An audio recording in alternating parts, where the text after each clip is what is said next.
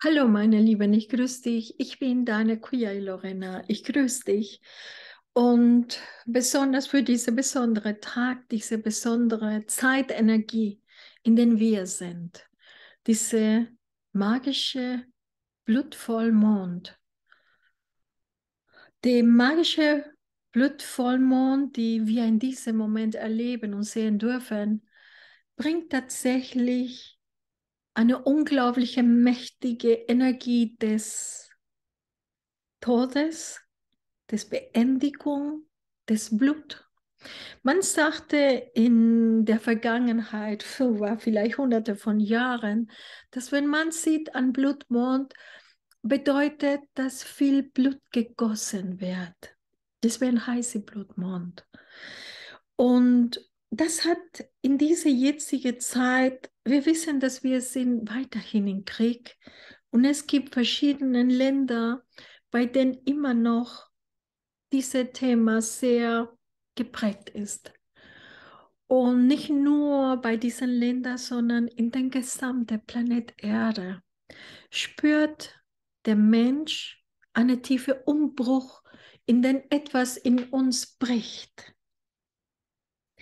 Wenn etwas in uns bricht, erzeugt eine Trennung, erzeugt die Scheidung und Entscheidung durch diese Trennung etwas Neues zu beginnen.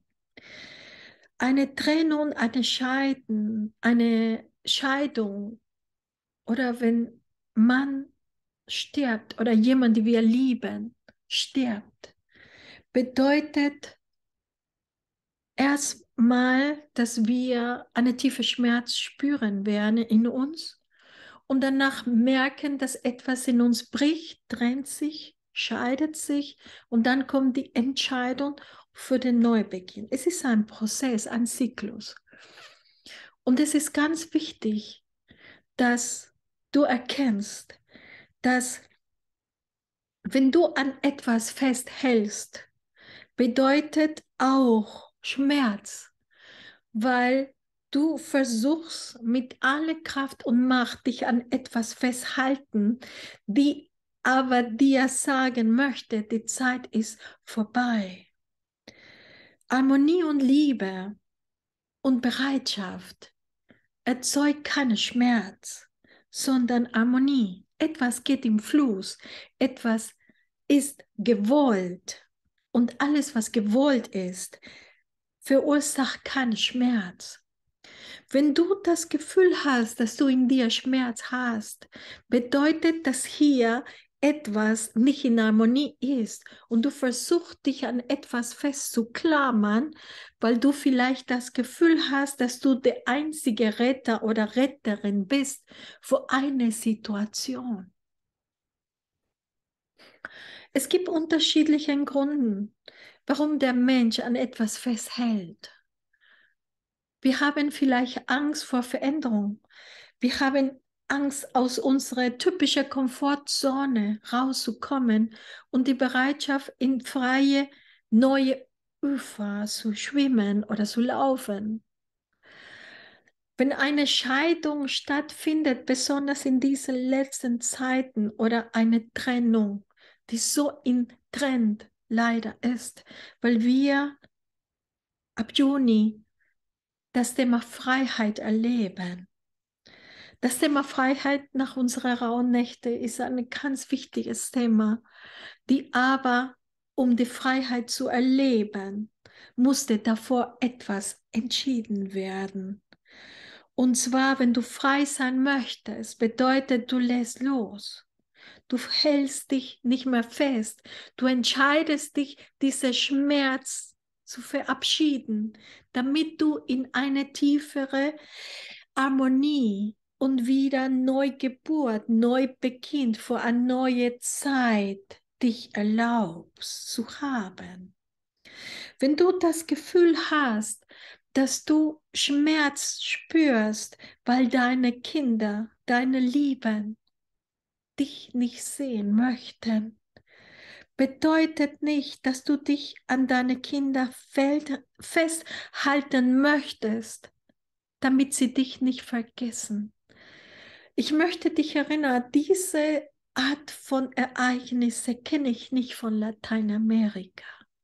Es ist eine Situation und Herausforderung, ich ganz ehrlich nur hier in Deutschland, Österreich, in diesen Umgebungen wirklich zum allerersten Mal erlebt habe. Das ist eine sehr merkwürdige Phänomen. Und ich habe euch so oft gesagt, Deutschland ist ein ganz wichtiges Land. Ihr Österreicher, Schweizer, deutschsprachige Menschen. Ihr seid so wichtig für diese Planet Erde. Wenn es euch gut geht, dann seid ihr in eurer Kraft.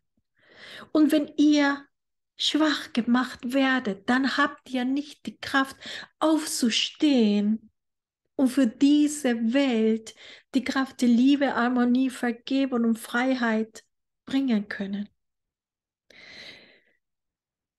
Dieses Phänomen von Krieg hat euch sehr geschwächt und dazu gebracht, dass ihr nicht stolz sein darf, deutsch zu sein. Es kommt eine komische Schuld.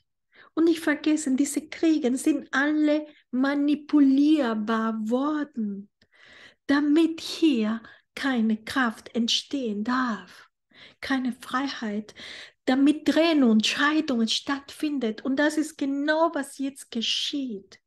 Und entweder Frau und Mann trennen sich, lassen sich scheiden, damit ihr weiterhin schwach bleibt. Und wenn diese Trennung nicht stattfindet, dann die nächsten sind die Kinder. Die Kinder wollen dich plötzlich nicht sehen. Und kommt dieses Thema der Ablehnung. Ich, fühl, ich fühle mich abgelehnt. Ich fühle mich nicht gewollt. Und das, warum geschieht das hier in dieser territoriale Raum. Warum nicht in Lateinamerika? Ich kenne es nicht da. Und das ist etwas, was mich immer wieder zum Nachdenken bringt. Leute, das ist reine Manipulation. Mein Vorschlag, meine Empfehlung, denke an dich. Kümmere dich um dich. Wenn deine Kinder dich nicht sehen wollen, bedeutet nicht, dass du wertlos bist. Bedeutet nicht, dass du schuldig vor etwas bist. Es ist nur ein Zeitraum, in dem dein Kind, wenn du in der Zeit versuchst oder tust alles, um dich um dich zu kümmern, um du in deine Kraft zu kommen, dann wirst du erkennen, dass du dadurch beginnst, so in deine Selbstharmonie zu kommen. Steh auf. Und lass dich nicht durch deine Kinder schwach machen. Deine Kinder werden irgendwann erfahren, dass sie einen großen Fehler gemacht haben, weil du plötzlich glücklich bist. Und wenn sie in deine Richtung kommen, du bist bereit, die Arme breit aufzustellen. Und wenn du ab und zu an deine Kinder Hinweise gibst, ich bin für dich da, solange ich lebe. Wenn es dir gut geht, tu es. Weil diese Energie kommt von Herzen. Wenn du traurig bist, tut es nicht. Weil diese Energie wird deine Kinder erreichen mit Hunger. Hunger nach Anerkennung. Und je mehr du eine Anerkennung möchtest, du bettelst nach Anerkennung, das will kein Mensch. Wenn du in deiner Kraft bist, gebe deine beste Botschaften weil dann tu es, tust du das von ganzem Herzen. Und das ist eine goldene Energie, die jeder empfängt oder empfangen, empfangen mag. Sei nicht der Bettler, sei der machtvolle Mensch, der du bist. Steh auf und sei frei von allen Schmerzen, von allen Schulden, Glaube an dich und an alles, was deine Vorfahren bis jetzt gemacht haben, um diese kleinen Länder, aber machtvolle Länder Es gibt einen Grund, warum diese Länder, die klein sind, so mächtig sind. Und das ist auch merkwürdig, oder? Weil ihr machtvoll seid. Die Menschheit schaut euch zu. Glaube an dich.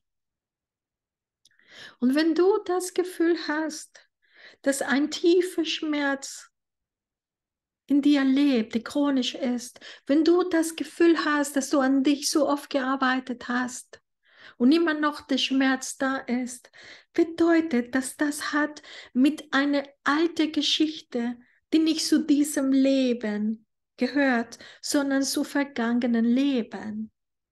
Und es gibt natürlich viele Methoden, die dir helfen können oder vielleicht auch nicht. Zum ersten Mal möchte ich gerne dich einladen, auch zu dieser hervorragenden Karmic Dissolution Ausbildung, die ich jetzt bald durchführen werde, die dauern zehn Tage lang. Vielleicht hast du die Möglichkeit, durch diese Ausbildung dich auch selbstständig zu machen und viele Menschen wirklich in der Tiefe zu unterstützen. Diesen Themen, die man nach so viele, so viel Arbeit und durch unterschiedliche Techniken man nicht erreicht hat, in die tiefe wahre Heilung zu gehen, dann vielleicht möchtest du an dieser Ausbildung teilnehmen. Es ist eine wichtige Zeit, dass wir etwas für uns und unseren Lieben tun. Aber besser noch, tue was für dich, damit diese kollektive Arbeit, die jetzt durch euch deutschsprachige Menschen so wichtig für die Menschheit ist. Ich freue mich, wenn ich weiß, dass du beginnst an dich zu glauben. Und ich freue mich, wenn ich weiß, wer du wirklich bist. Du leuchtender Mensch. Ich will dir sagen, ich liebe dich. Steh auf und genieße die Sonne und sei frei von alles, was dir nicht gehört. In tiefe Liebe verabschiede ich mich. Segnungen für dich und dein Leben. Danke und bis gleich.